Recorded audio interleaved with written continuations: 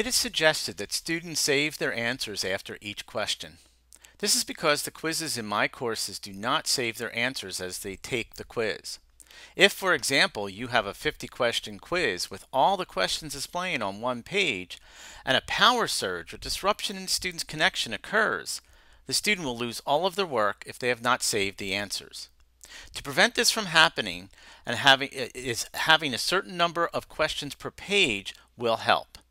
As students move to the next page of questions, the My Courses quizzes will automatically save those answers.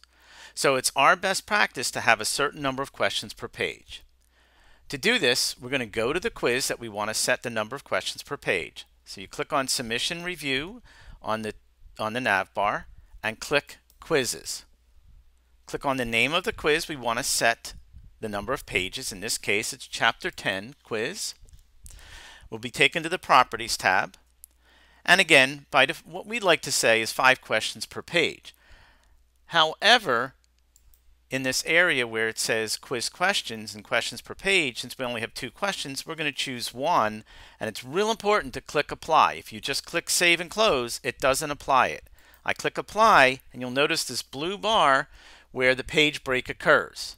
You'll also see a page column reflect the number of questions per page. So you'll see right here, page one, page two.